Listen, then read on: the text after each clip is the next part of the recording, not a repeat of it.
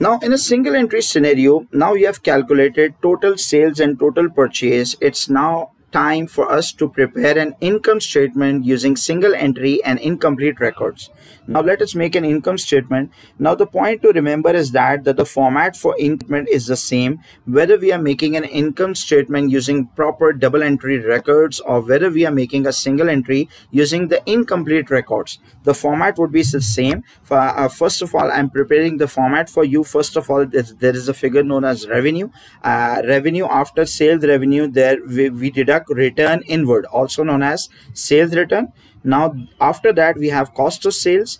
Cost of sale is calculated as first of all, we need to calculate uh, when first of all need, need to prepare the right opening inventory. Then we have purchases, then return outward, also known as purchase return then we need to add carriage inward. Now there is two type of carriage. One is carriage inward and one is carriage outward. Carriage inward refers to a situation when we are buying goods for the business and the transportation cost that we are incurring while bringing in goods to our business. That is the shop or warehouse. So this is carriage inward. And carriage outward refers to a situation when we are selling goods or delivering goods to customer. So the delivery cost is basically to customers is known as carriage outward. Now the carriage inward comes in the cost of sale. We'll need need to add here in cost of sale and the carriage outward becomes part of expenses.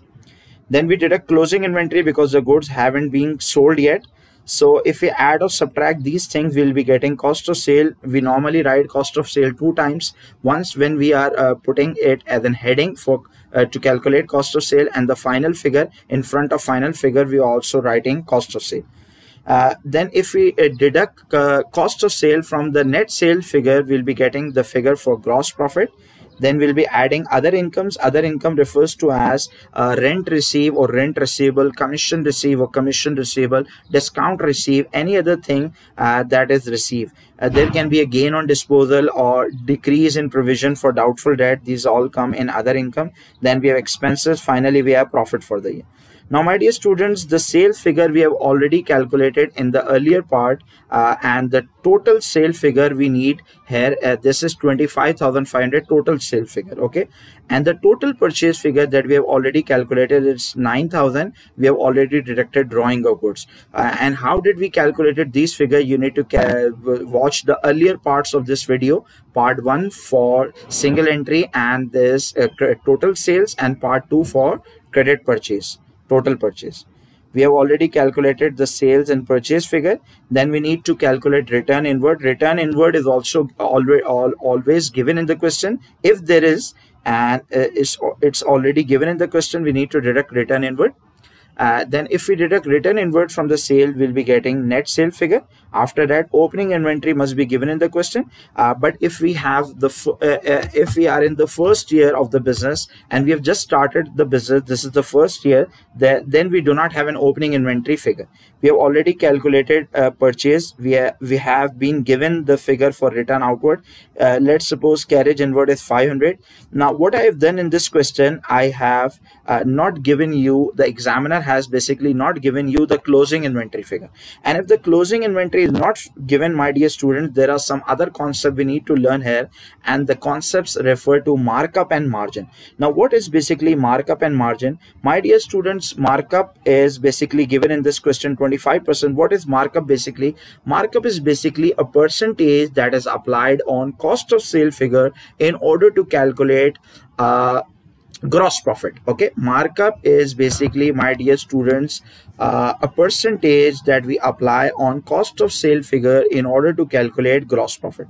Uh, my dear students if the sale figure is given we need to apply a margin percentage on the sale figure in order to calculate a gp but if we have a cost of sale figure, we need to apply a markup. Now, there are two types of percentages, my dear students. A margin percentage is applied on sales in order to calculate a GP gross profit.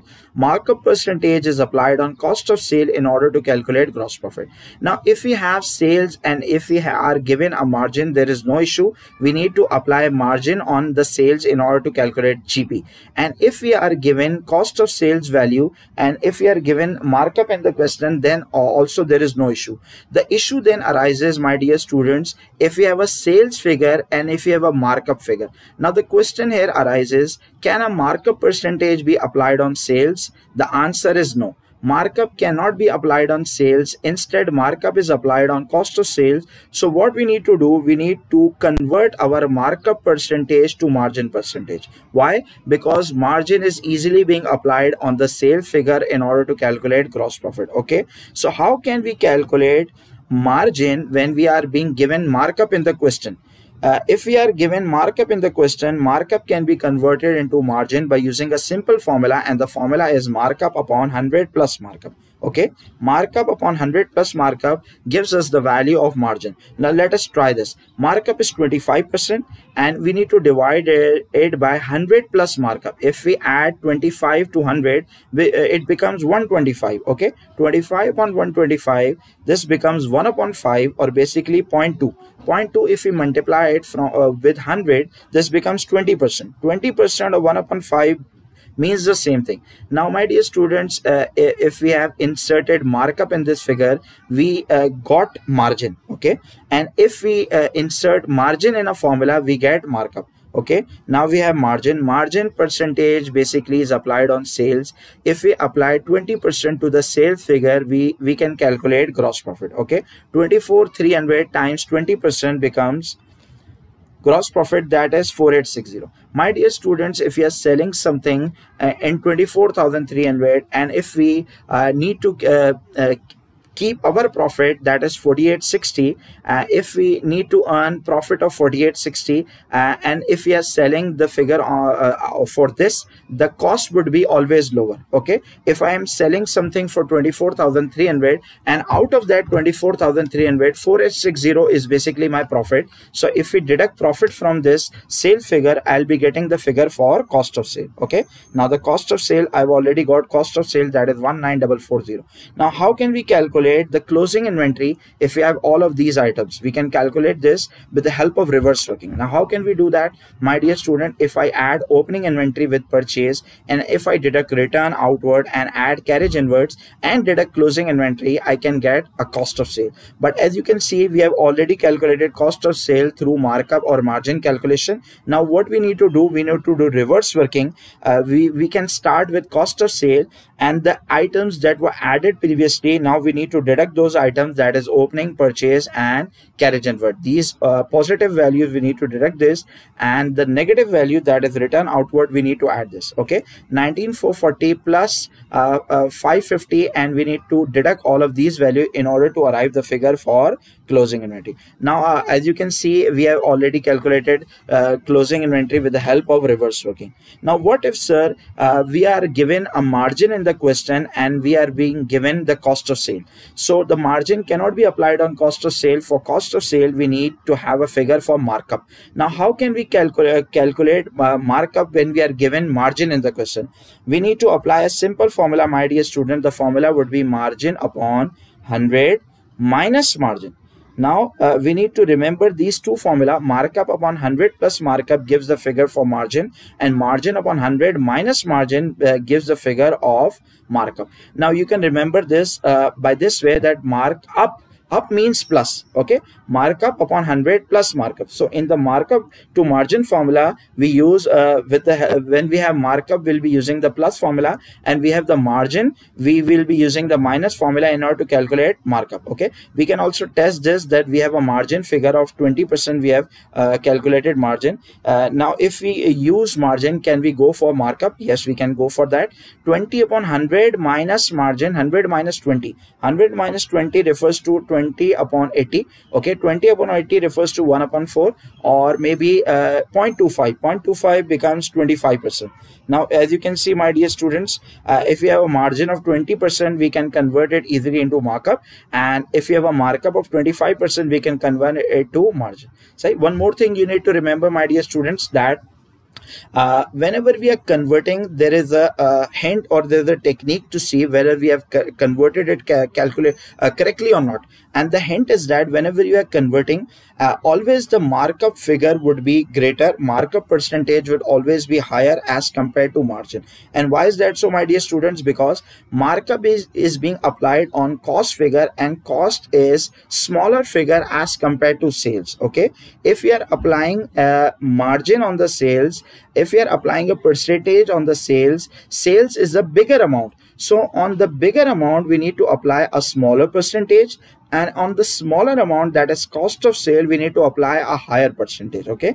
So this is the rule you need to remember whenever we are converting and whether we are not sure whether we have converted it correctly or not we can apply this rule that markup will always be higher than margin our margin will always be lower than markup in any given question okay? Now let us complete this income statement for other income we have discount receive or there can be other items as well rent receive or rent receivable commission receive gain on disposal or decrease on provision. Okay? When when we add other income to this gross profit figure this is the uh, this is the uh, figure which has no name. Okay? This is a no name figure 5110 then we have expenses uh, if we have put a discount received in the other income heading we need to uh, put discount allowed in an expenses heading. Then we have a bad debt also known as irrecoverable debt. This is always an expense. Then we have rent basically. Uh, uh these are dummy expenses. I'm just putting it just to complete the income statement. So how can we calculate a rent or any other expenses in a single uh, entry scenario? First of all we have a figure in the cash book uh, that the rent paid. Rent paid figure would be there.